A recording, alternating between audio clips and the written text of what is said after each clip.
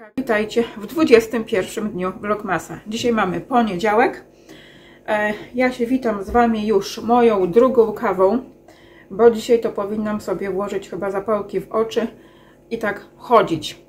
Bo wczoraj, oczy, yy, wczoraj poza tym, co Wam tutaj nagrałam i się z Wami już pożegnałam i to była godzina jakoś późno, wczoraj się pożegnałam z Wami o 20.16, tak, e, to jeszcze wzięłam e, to przyszedł? Julcie. A i Melunia tutaj oczywiście też jakby co, to te odgłosy to y, mój pieseł y, wydaje. Takie te odgłosy. Ja to się śmieję właśnie z mężem, że to jest tak jakby, y, żeby jak to by był prosiaczek z nami mieszkał, a nie pies.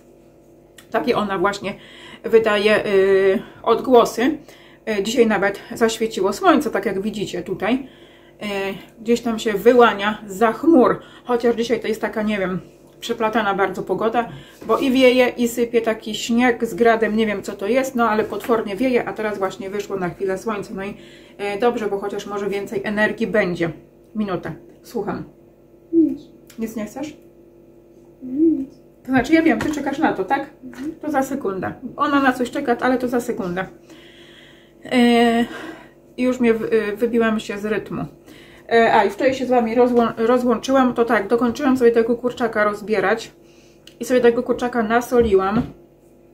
Wcześniej e, zrzucałam sobie wszystkie pliki na komputer i zmontowałam film, ale to był taki krótki, 15-minutowy, więc długo e, przy nim nie siedziałam. To to zrobiłam. Melunia, ty też coś chcesz ode mnie? Ona chciała powiedzieć, że spała u ciebie na łóżku i bardzo mocno chrapała. A, to tylko tyle chciała powiedzieć.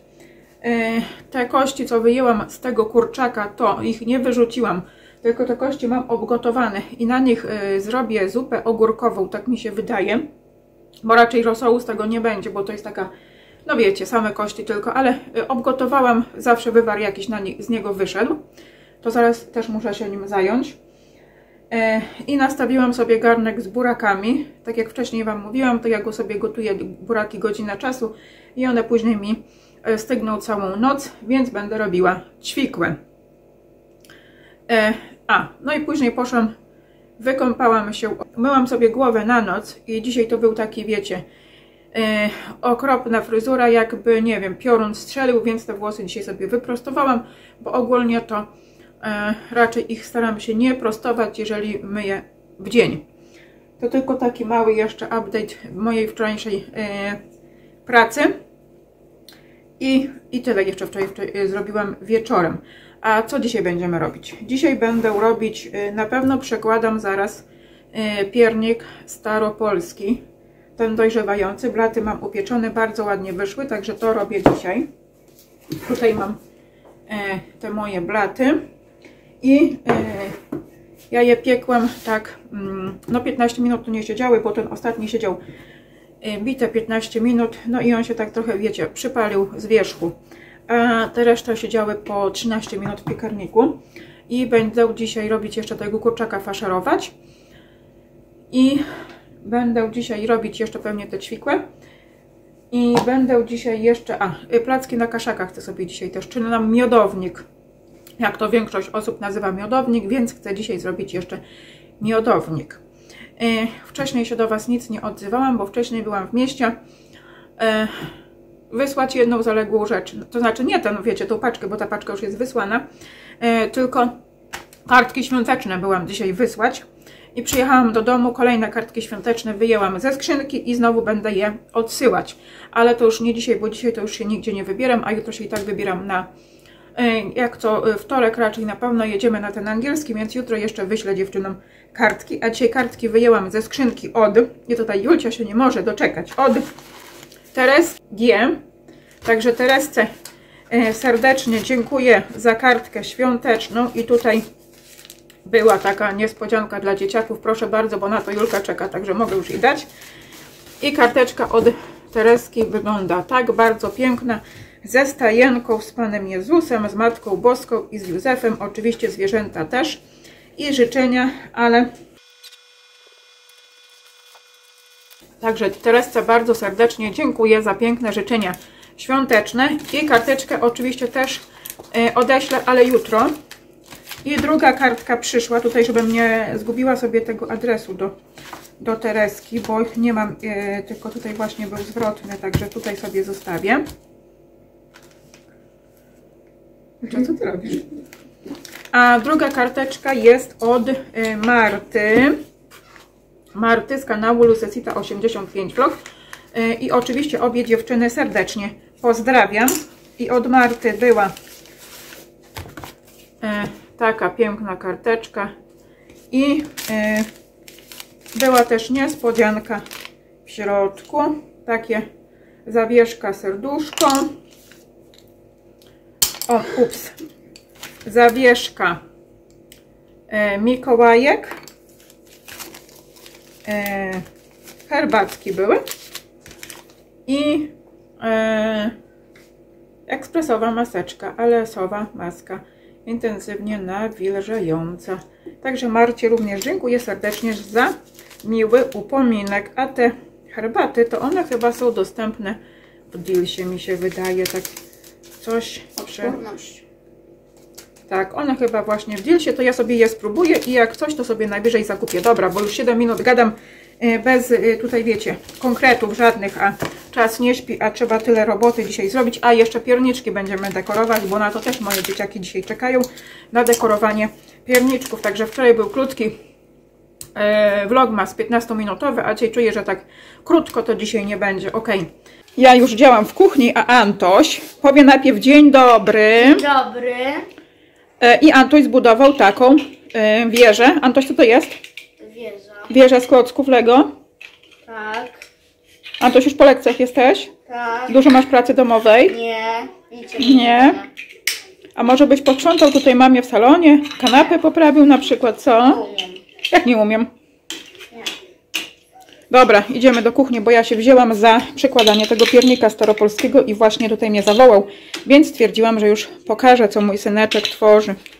I teraz przyszedł czas na przełożenie yy, placków piernika staropolskiego.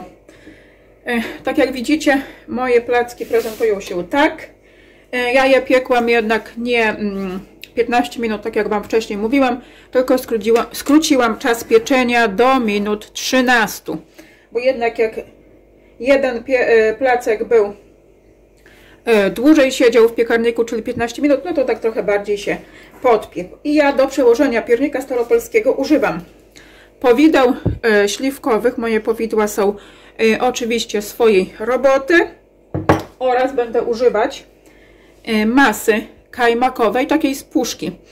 E, Jeżeli macie ochotę, możecie użyć e, masła orzechowego, na przykład takiego z kawałkami orzechów, też e, równie dobrze się będzie prezentować, znaczy smakować ten piernik.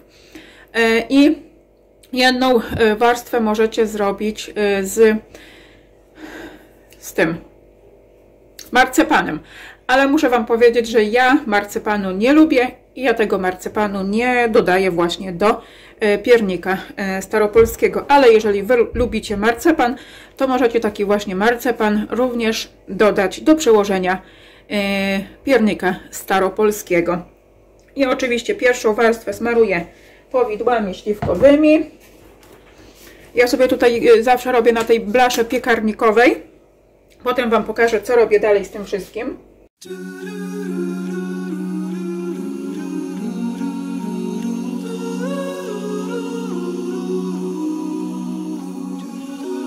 I teraz na te powidła śliwkowe położymy krem, e, masę kajmakową.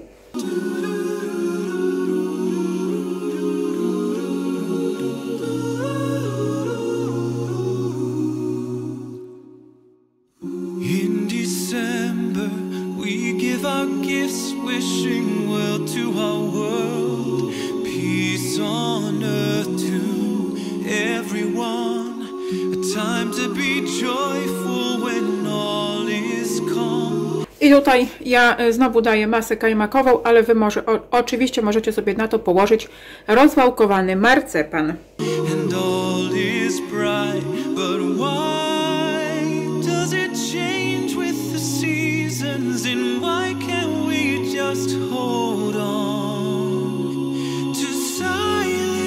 Ok, i tak. E, Placki mamy przełożone. E, Proponuję użyć trochę gęściejszego, gęściejszych powideł, bo moje powidła e, jednak były troszeczkę przy, przyrzadkie, bo to są domowe, a sklepowe to zawsze są gęściejsze. I teraz ja sobie to wszystko owijam jeszcze papierem do pieczenia. Tam tak staram się wepchnąć, oczywiście, no teraz to już trudno będzie mi podłożyć, nie? Ale tutaj można tak wepchnąć i tutaj też. I ja to wszystko pakuję, powiem Wam szczerze, w worek na śmieci po prostu, bo inaczej mi się to w żadną reklamówkę nie zmieści, bo takiej dużej nie mam.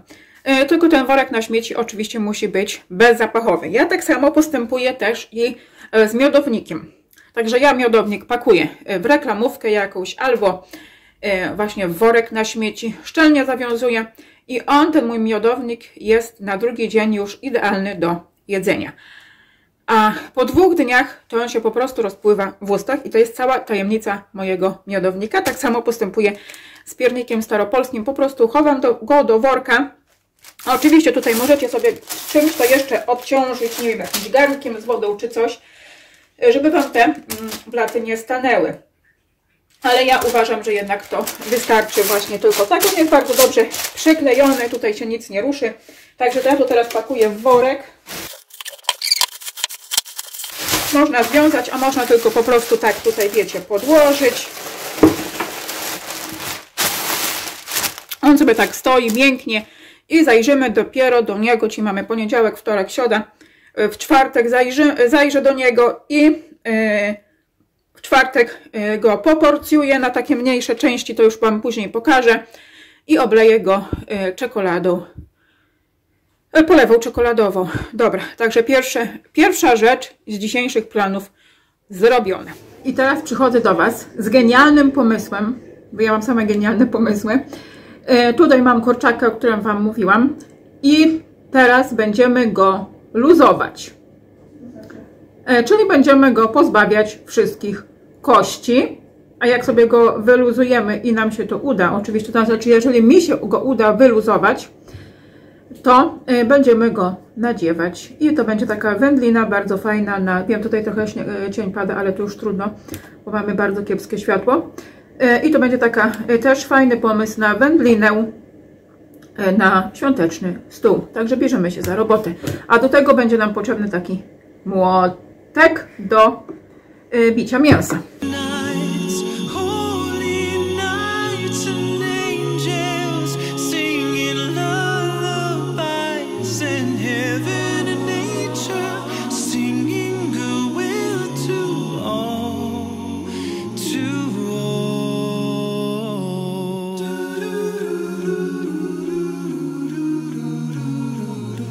I tutaj mam, tak jak widzicie, i wczoraj też Wam pokazywałam, tak tylko wiecie, minuta 8, wczoraj Wam pokazałam, mam wyluzowanego kurczaka. Ja go luzuję.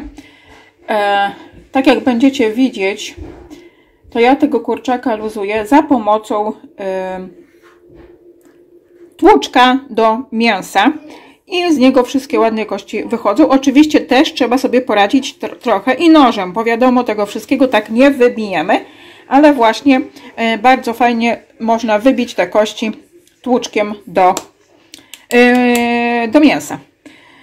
I e, tutaj sobie go już, kurczaka mam przygotowanego, sobie nasoliłam na noc, więc on jest już posolony, posolony żeby przeszło przyprawami, a tutaj sobie przygotowałam zwykłe mięso mielone, jak na zwykłe kotlety mielone.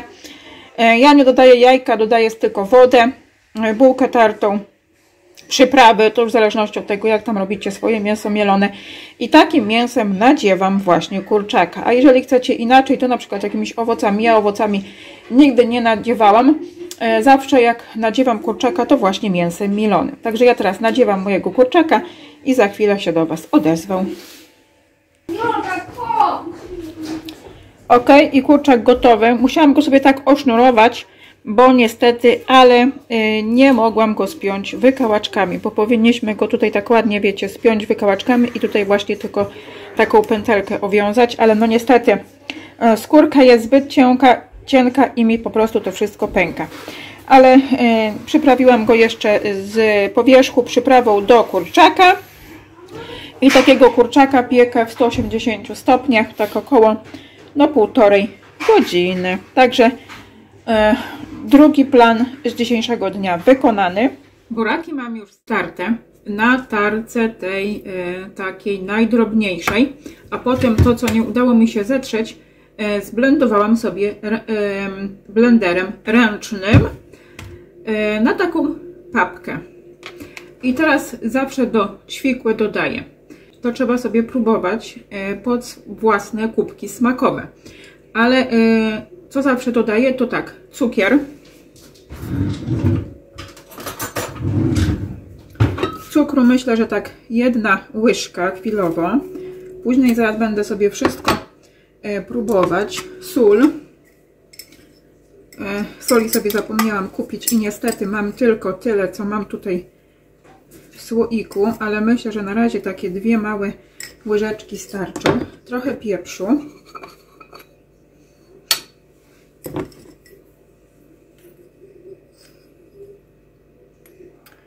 Też taka nieduża łyżeczka. Ok. E, ocet. Myślę, że na razie jedna łyżka octu też wystarczy. Może nie będę brudziła tamtej, tylko wezmę tą brudną już. To znaczy brudną. E, nie to, że brudną, wiecie, tylko po prostu po burakach, nie? Także za dwie łyżki tego octu i chrzan. A chrzanu tutaj mam tak pół słoiczka, więc na razie dam te pół słoiczka. Mam jeszcze, e, mam jeszcze cały słoiczek chrzanu, ale na razie dodam e, tylko to pół słoiczka, wymieszam i będę próbować jak smakuje. Oczywiście e, ciekła jest najlepsza wtedy jak się już przegryzie, także trzeba ją włożyć w słoiki, dać jej trochę czasu, żeby nabrała mocy i dopiero jest najlepsza. Powiem Wam, że ja za ćwikłą to tak niekoniecznie przypadam. Ja wolę chrzan e, w naturalnej postaci, aniżeli buraki z chrzanem. No ale, ale robię e, ćwikłę zawsze na święta, bo mój mąż bardzo lubi, więc ta ćwikła też jest. A że jeszcze uwędził tą wędlinę.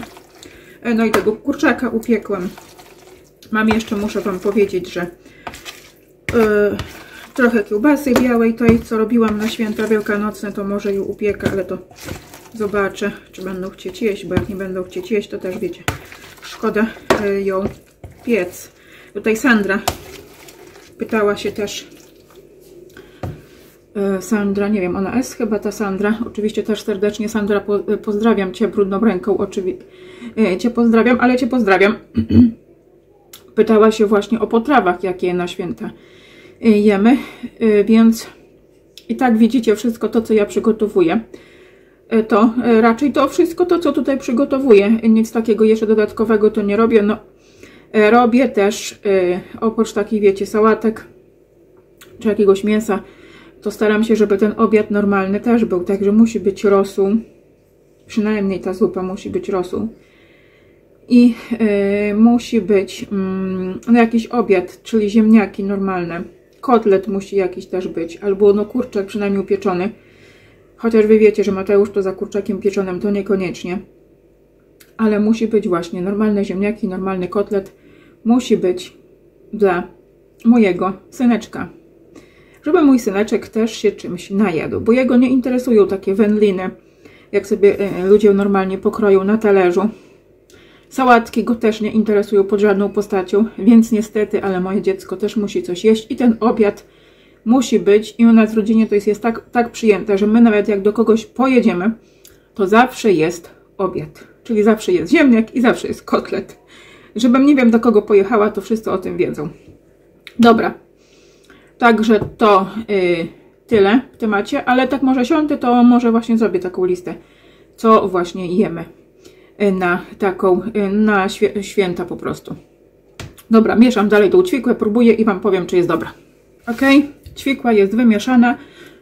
Y, dosypałam jeszcze mm, dwie małe łyżeczki soli. Y, dosypałam łyżeczkę pieprzu i jedną łyżkę cukru dosypałam, bo muszę Wam powiedzieć, że ten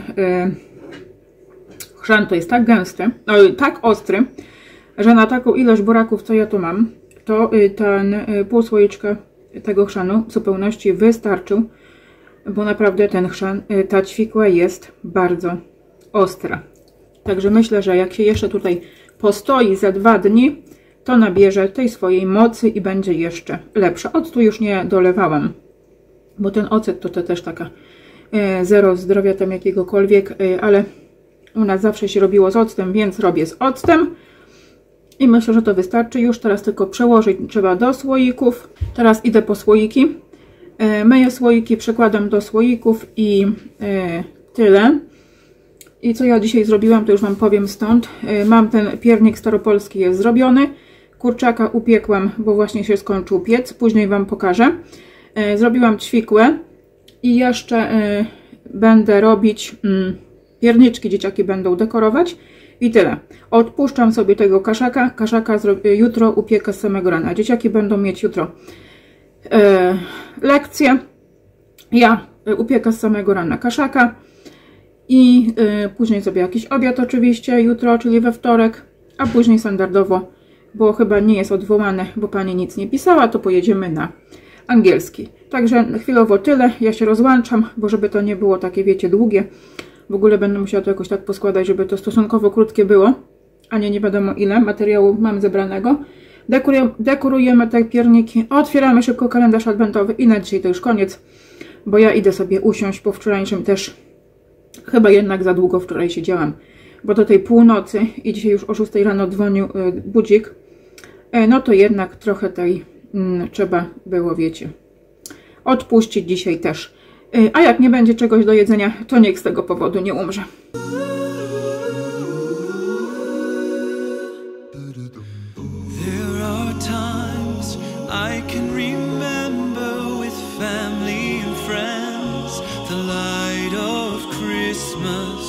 Radiates and lights up my memories, the magic of love.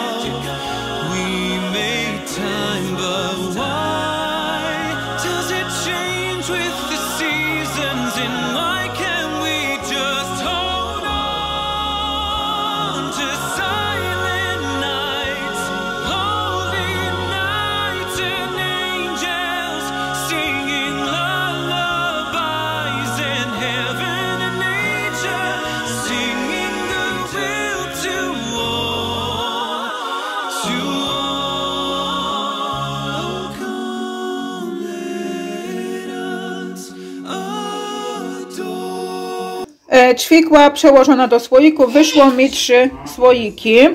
Takie, jeden ma litr, litr pojemności, a dwa takie bym powiedziała, że po pół litra. E, tutaj pierniczki e, udekorowane. Prezentują się tak. Wszystkie nie są udekorowane, ale e, powiedzmy większa połowa jest udekorowana. I tutaj jest ten kurczak. Prezentuje się tak. Widzicie, że się nie rozpadł, także śmiało można sobie tak zafaszerować kurczaka. Jeszcze go oczywiście nie wyciągałam, nie rozciągałam e, ze sznurka, bo poczekam aż całkowicie wystygnie. A teraz idziemy otwierać kalendarze adwentowe. I otwieramy teraz kalendarze adwentowe. Dzisiaj mamy numer 20. wy 20, a ja 21. No. Dobra, e, tu był aniołek. Dzisiaj Julcia ofiaruje bratu swoją czekoladkę. Tak, bo ja nie mam ochoty. To jest podkowo pierniko. Super, a teraz jeszcze tamte duże. Okej.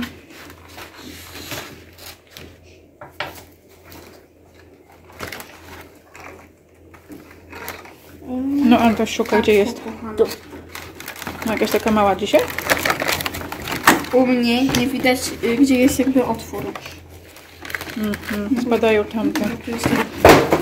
To już zaraz koniec. Wiecie, patrz, psuje się. Co się psuje? To zawsze tak było, bo ja tak rozdzieram. O, znowu mamy jakiś. Teraz chyba mamy szampon do włosów. Super. E, mamy teraz Shaum Bad. Szaum. Bad. Czyli coś pewnie do kąpieli. Później będę tłumaczyć, teraz nie będę już szukać, bo muszę to sobie w tłumacz wrzucić. I jeszcze herbatka. Herbatki mamy dwie ostatnie. Także u nas herbatka już koniec, a tu była taka żółta kula do kąpieli, zapewne cytrynowa. A herbatka? Herbata czarna. O, czarna tylko, dobra. I czytanka ostatnia już. E, dzisiaj akurat wypadła tak, e, czytanka akurat na samą dobranockę, bo mamy już godzinę 20.40. Także akurat idealna na dobranockę. Także dzieciaki czytają sobie na dobranockę czytankę i uciekają spać. Ja, mu, ja chciałam powiedzieć, że muszę to jakoś sobie zaznaczać, bo tak Bo cały co? czas szukam. Mi to się gubi. Dobra. Oh,